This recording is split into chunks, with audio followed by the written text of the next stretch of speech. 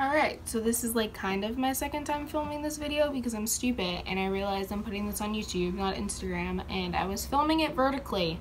Um, and it needs to be horizontal for YouTube, so.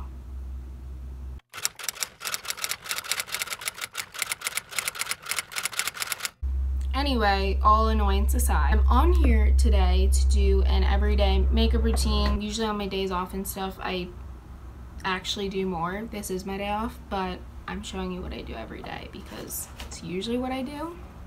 Um, but I'm also here because I don't know if you guys have heard about this app called Influenster. I enjoy it because I enjoy reviewing products and letting people know what I have been liking. Anyway, so this time I received the Influenster Rimmel London box. So there's two products in here that they just launched. Obviously, I did receive these products promotionally. Um, I'm not getting paid to do this. I honestly just think it's fun to do this. I've never tried them before. I literally just opened the box in the last video that I half made. So yeah, this is the box. I'm just going to show you the products now.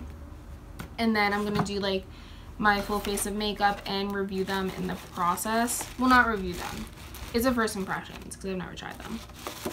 It's a brow and lash duo, which I'm excited about because my brows are my favorite thing. Um, I love brows in general and I'm always looking for a new good mascara. I like something that's lengthening, not clumping, and I do like volume, so I kind of want it all. Alright, so in the first video I already did my skincare and my first primer, so I'm just going to show you what I used. The first thing I do in the morning I just go in with a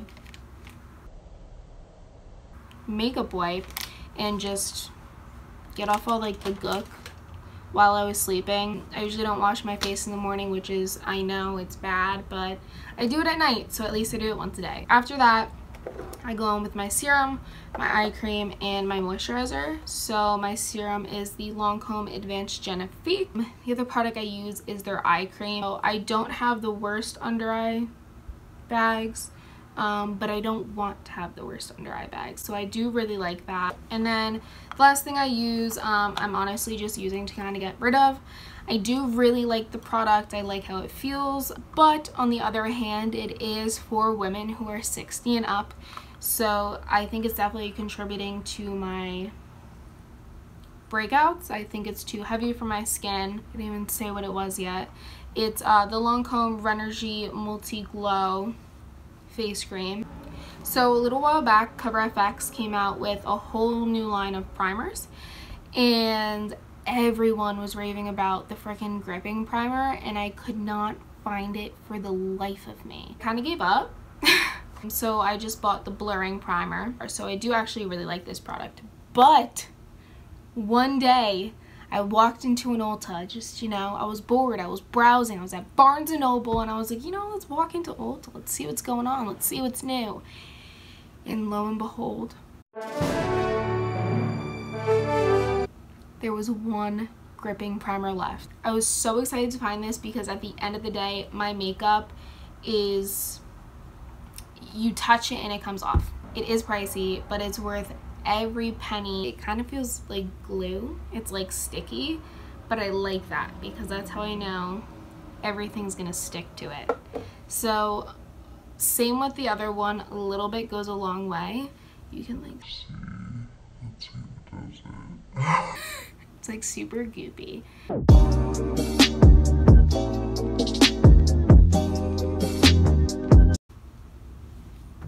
So yeah, I'm gripped. So um, here's a little tip. Uh, I use the MAC Painterly Paint Pot and before I go into conceal, I go to the places where I feel like I need extra coverage or more smoothing. I put this under my eyes.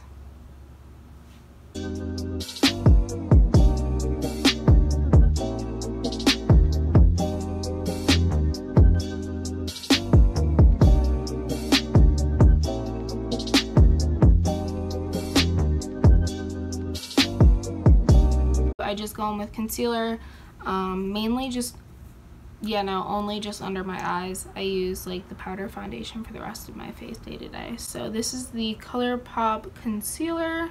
I kind of like looking like a pale dead girl, which a lot of people like looking like orange hot dogs in the summer, but that's not me. You'll never see me going for a freaking spray tan.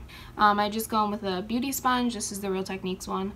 I never buy the Real Beauty Blender. I don't think it's worth it. Yes, it's amazing, I guess. Um, I actually prefer the Real Techniques one, but I know people are going to chop my head off for that, but whatever. It's my opinion. I'm going to set that concealer before I go into my powder foundation. I use the Bare Minerals Mineral Veil but the illuminating one, the original one, is trash. But this one, this one is everything. If you like a dewy look, um, if you like to look luminous, this is it.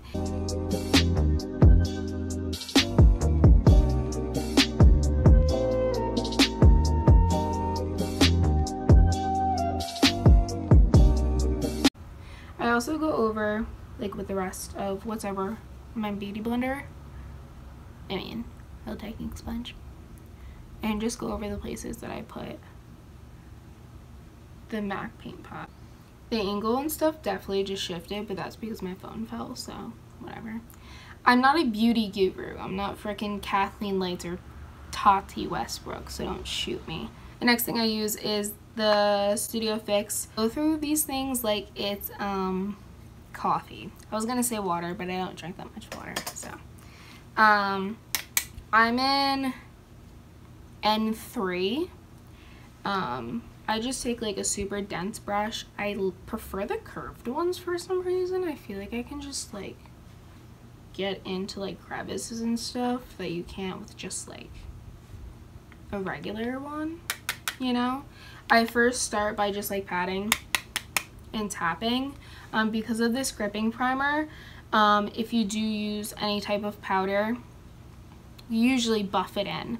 Um, I go in and just kind of set that gripping primer because it'll kind of pull and tug the primer underneath if you start buffing instantly. So I just put a little bit on to ensure that no tugging will ensue. And then I go in rub it in, tap it off, and now I go into buff. Um, this is like my favorite powder at the moment. I usually don't like powders much because, like I said, I like to be dewy. My like all-time favorite powder for the longest time was the Bare Minerals Original. I still use it and I still love it. I love the texture of it. I love the way it wears. I like that it looks like I'm wearing a liquid foundation when I'm not. Um, this one does that too though. Um, don't get me wrong. But I do like that one a tad bit more. I just wish they would make the shade range slightly lighter. Um, because I know there are people that are paler than me. You probably don't believe that. Because I'm pale. But I promise you there are. Anyway, the next thing I do is bronzer. Can you guess what brand it is? Lancome. No, but in all seriousness, this is actually, I think, my all-time favorite bronzer. It's a perfect shade. It has luminosity. There's little specks of like goldness in it. Um, and I'm very sad that it hit Pan because now that I don't work for them anymore, I can't get it for free. That's like pay full price, which is trash. But this is in 05 Golden.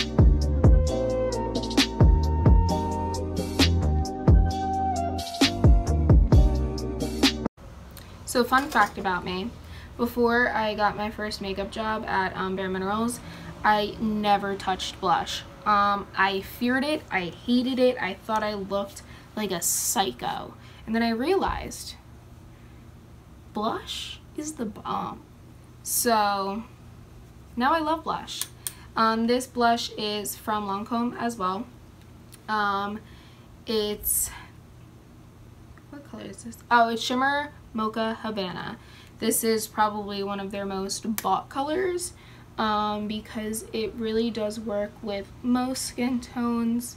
Um, it has a slight sheen to it, but nothing overpowering. And it's a very natural blush. Like you can see, like it's not super pink. It has more of that mocha undertone, which helps to blend it in with the bronzer. So when you're wearing just like an everyday look, you don't want to look super pink, this is like perfect.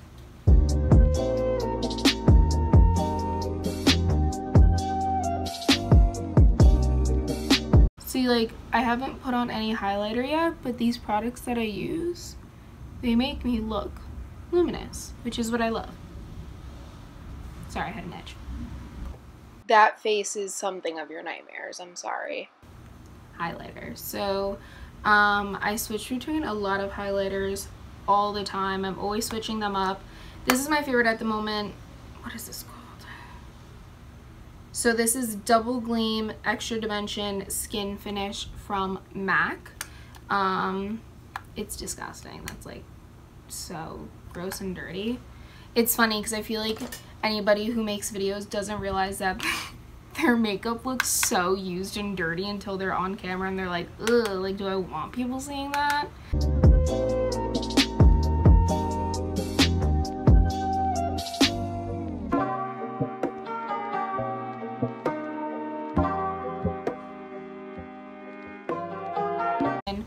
With like a flat super small brush um, and I'll wet the brick out of it.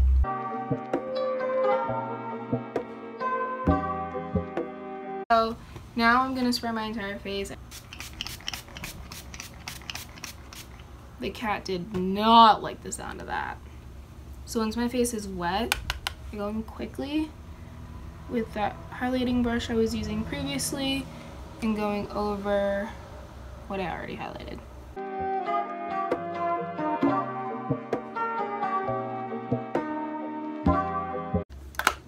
Nice. Okay, I'm super excited because now I get to try new products. Um, but before that, I always go in with that blush brush I used and I just like blend everything together. So I look more like a human and not like um, Tin Man. So I do brows before I do lashes. Lashes is like the last thing I do. Before that, I think I'm gonna move closer. Ooh, cute, we're up close and personal now. So I always go through, brush through the bad boys with a spoolie, mainly to get out any foundation. All right, let's unpackage this baby. So, um, the new Wonderful Brow, it's waterproof, which is bomb, especially since it's freaking raining today and I wanted to go to Barnes & Noble. My brows won't be melting off, that's great. Um, I think I have scissors because I can't open this. Got it. So it says that it's a gel um, with fibers, which I'm very excited about that because I love my brows to look bushy and big and Sasquatch-like. So hopefully it'll do that. Not gonna lie, I'm slightly terrified. Um, you might not believe this, but I've never used a tinted brow gel. I only ever use clear because I usually go in with like a pen to just fill in the front and then I'll go in with a clear brow gel. Um, but who knows? Maybe this will be like the day I find that this is my favorite product. Apparently it's supposed to be 24 hour wear. Um, yeah. Did I say that I got dark brown? I don't know if I said that, but I got dark brown. So let's see the color. Ooh, she's dark. yeah, she's dark. But she matches. She does. I'm like slightly scared, so I'm totally gonna just like wipe off a little bit because I don't. That's always a tip. If you don't want your mascara to be like clumpy or something, or brows, wipe it off. You know, you don't want that clump. Alright, let's go in. Okay. Okay. She's cute. So far, so good. I'm actually excited. Guys, we might have just found a drugstore miracle. Um, Caitlyn's new favorite product. Alright, let's do it again on the other side. No. See, that's what I was afraid of. Like, that scares me. Like, is it gonna go away? Oh, yes. Okay, so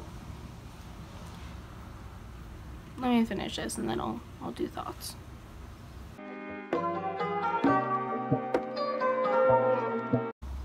Alright, so I'm gonna go in with my spoolie. Oh yeah. That's definitely something I like. I like my brow gels to feel like they're cemented to my face. Because that means that they're not going to move.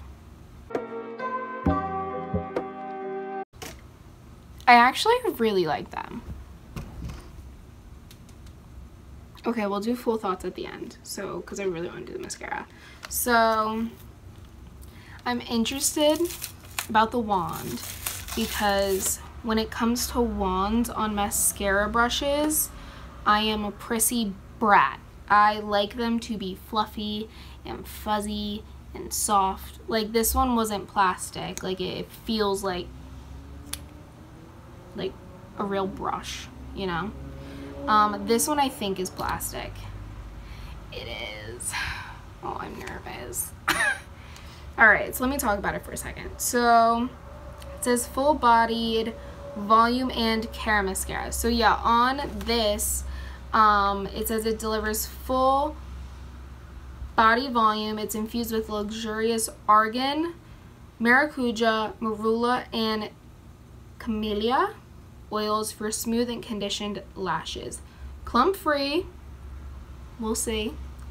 Long lasting, hopefully.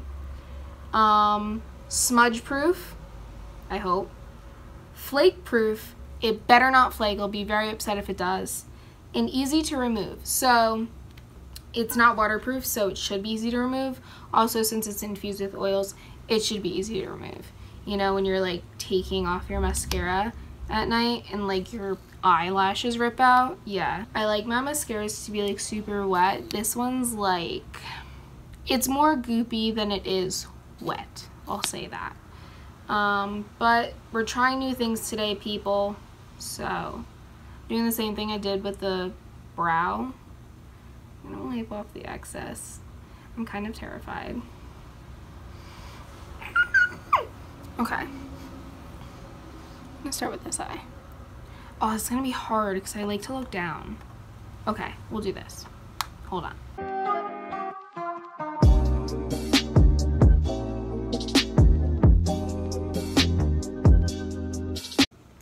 Funniest faces when I'm putting on mascara, I'm sorry.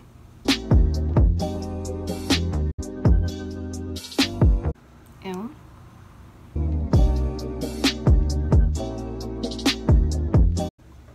Okay, I'm back. So, what I did is I just finished the mascara bottom top with the same mascara. Um, cleaned up my jewelry and my little mole with a q-tip so they don't look dirty because that's disgusting. And I put on a lip. This is MAC um, Yash. Great lip 10 out of 10 would recommend. Alright so final thoughts. I really like the brow product. I it 100% made my brows fuller fluffier. They are 110% in place. They are not going anywhere. It feels like cement and I love it. It did the job, you know, it was a perfect color for me, dark brown. If you have similar hair like me, this would definitely be the choice. Um, so I, I honestly give this product 10 out of 10 stars. It's, it's really good. I do really like this. The mascara.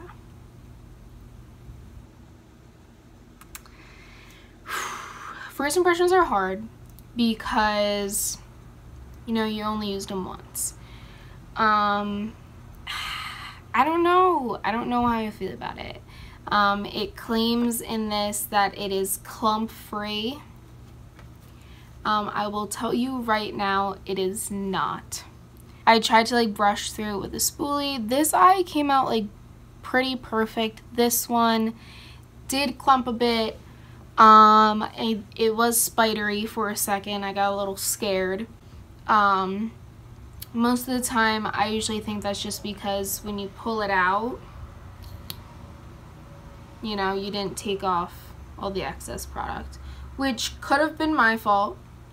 Um, but then yet it does claim clump free, um, not stating you should rub off any product. So um, I think I debunked the um, clump free. It is not. Um, but it is something you can work around. I know clumpy mascara some people cannot stand. I'm always willing to try out products and make them work for me.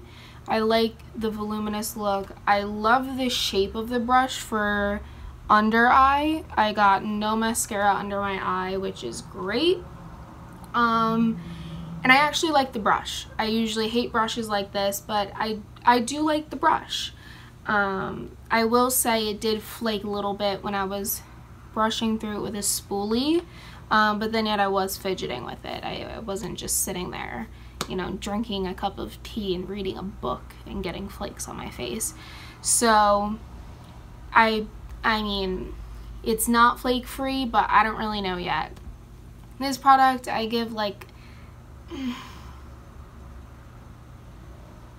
six and a half out of ten. I feel like that's like a crappy rating and it looks really good. The reason being is because I'm comparing it to so many other mascaras that I love, you know, like that are like my diehards. Um,